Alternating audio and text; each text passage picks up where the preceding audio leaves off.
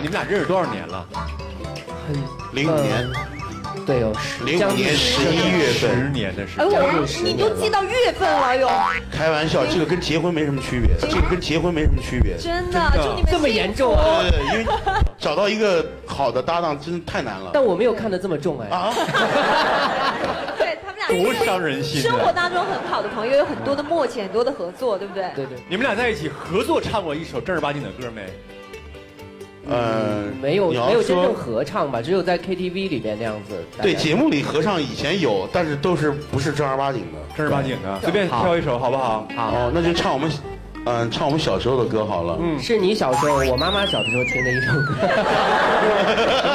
大约在冬季大。约在冬季耳耳熟能详啊，，是吧这词？儿不是没那么熟。没关系，没事没事没事，你们俩你看这儿我们就是即兴来，就看你俩是不是这十几年的朋友没白做哈。对你们别彩排，也别练，就是即兴来，一句接一句，一句接一句。就你的意思是，如果我们唱的不好，这十年就白做了。我估计这个友情在我们心跳里就断了。就摔不会不。会不会十年白做，是没有未来的十年。说来就来，来，有请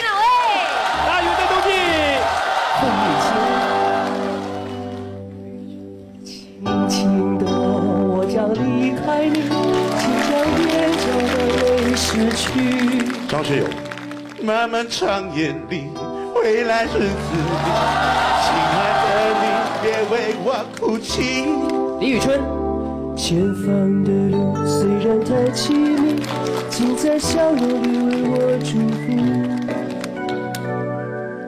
张宇，不知在何时，不知在何时，我想大约会是在冬季。田震，没有你的日子里，我会更加珍惜自己。李宗盛，没有我的岁月里，你要保重你自己。腾格尔，你问我何时归归，我也只想问自己。刘欢，不知在此时，不知在何时，我想大约会是在冬季。合唱，不知在此时，不知在何时，我想大约会是在